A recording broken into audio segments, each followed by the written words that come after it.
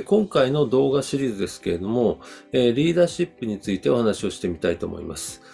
えー、まあ、リーダーシップですね。友淵博士ルータイスが我々に教えてくれているこのコーチング理論の中にですね、リーダーシップのその理論というのはしっかりと組み込まれているんですけれども、さらにですね、ここ1、2年、友淵博士がこのリーダーシップがとても重要だと。えリーダーシップとコーチングというのを両輪を回していく必要があるぞと。そうしないと日本全体が、世界全体が悪い方向に進んでしまうということで、このリーダーシップもですね、非常にしっかりと学ぶと幅が広く奥が深いんですけれども、今回は基本中の基本のところを押さえていきたいと思います。まずはですね、このコーチング理論を学んでいる方は全員がもう納得していると思うんですけども、我々のマインドは、えー、want to であるときに高いパフォーマンスを発揮するということですね。やりたいことをやってる時が最も高いパフォーマンスを発揮すると。だからまあ結果を出し続ける高いパフォーマンスを発揮させるためにはですね、want to の状態をずっと続けることがいいわけですね。まあだから自分自身もですね、24時間365日、want to というのをですね、やり続けてるわけですけども、まあこのコーチング理論を学ぶ前はどうだったかと。まあこれ振り返ってみるとですね、まあ時々いろんなところでお話はしてるんですけども、えっ、ー、と、仕事はですね、我慢するのが当たり前だと思ったんですね。自分自身本当そういうふうに思ってました。で、周りの人もそういう風な人がばっかりだったんで、で、えっ、ー、と、書店に行ってですね、ビジネス書コーナーでいろんな方々が書かれた本を読んだりとか、あとは結果を出し続けてる凄腕経営者の書籍の中にもそういうことがいっぱい書かれたんですね。間違いなくそれが当たり前だと思って全く疑わなかったというのが、仕事はハフトゥーが当たり前。仕事は我慢すればするほど給料が上がるというのは自分は信じてました。これあの、今から思うと、あの、笑ってしまうことかもしれませんけども、自分自身当時はですね、それが当たり前だと思ったら何にも疑問思わなかったんですね。これってあの、まあ、洗脳されたんだと思うんですけれども、この科学的根拠のあるコーチング理論を学んで何が変わったか。えー、want to、24時間365日 want to だと。仕事をしている9時5時がえー、have to で、after five が want to だと、週末 want to だと、そういう人生は、えー、全くパフォーマンス上がらないよと。仕事も want to、そしてオフも want to ということで、24時間365日 want to がいいんだと。ルータイスはですね、えー、人生において、ハフトは一個もなくていいと、すべて want にしろと。ハフトゥーがあるとしたらですね、死ぬことだけだというふうに我々に教えてくれてるわけですね。それぐらい我々のマインドとしてはですね、want to が大前提です。ところが自分は仕事はハフトゥーであるのが当たり前だと思ってた真逆だったということですね。じゃあリーダーシップ、リーダーとしては何を抑えなければならないかというとですね、えチームメンバーに対して、組織の構成員に対して、ハフトを仕掛けないということですね。ウォントゥーの環境をいかに作れるか、これがこれからのリーダーの、まあ、いわゆる抑えなきゃいけないど真ん中の基本中の基本であるということですね。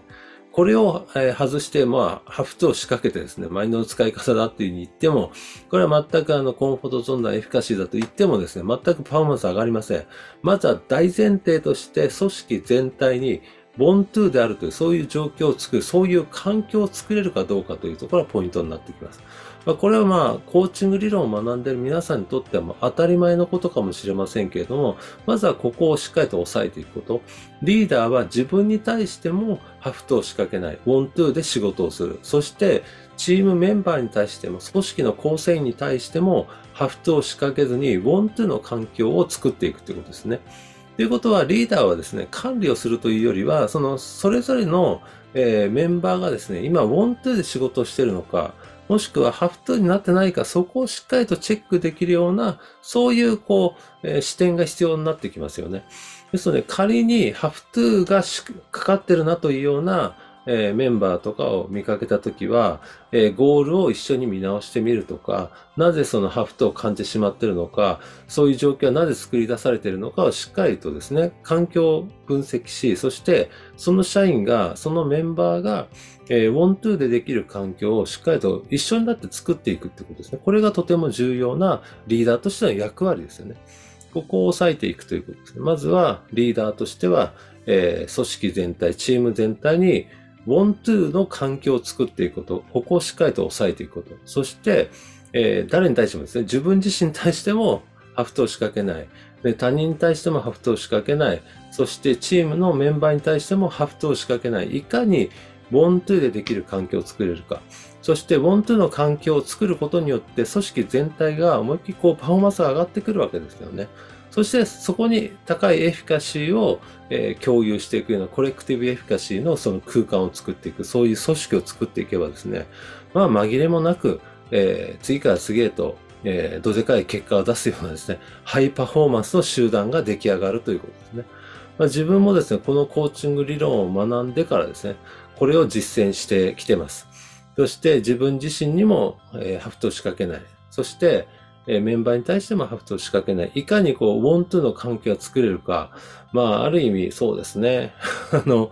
合理を共有しながら、えー、リラックスしながら、笑って仕事ができるかどうか。えー、楽しんで仕事ができるかどうかっていうことを常に考えつつ、そういうコミュニケーション、それが前提となるコミュニケーションを取るということね。これがこれからの時代のリーダーに求められる資質である。まあ、基本中の基本のところですね。いわゆる20世紀まで、まあ、今ももしかしたら残ってるかもしれませんけれども、大きい声でですね、こう、叱責するとかですね、叱るとかですね、まあ、そういうこと、圧を与える、ハフトを仕掛ける、そういうマネジメントをしている組織というのは、チームというのは、組織全体がパフォーマンスが下がるような方向に進んでしまうということをリーダーはしっかりと理解した上で、その上でハフトを仕掛けない、ウォントゥの環境をしっかりと作っていく。一人一人がウォントゥで仕事ができているか、一人一人がタスクをこなすことができているか、そういうところをしっかりと抑えられるようにしていく。そういう視点が必要であるということですね。まずはここがポイントとなってきます。それでは、え今回もですね、動画シリーズなので、えワークの実践に入りたいと思います。え毎回ですけれども、この概要欄のリンクからですね、メールアドレスを登録していただき、え効果のある実践ワークを実施してみてください。今回の動画は以上となります。ワクワク様でした。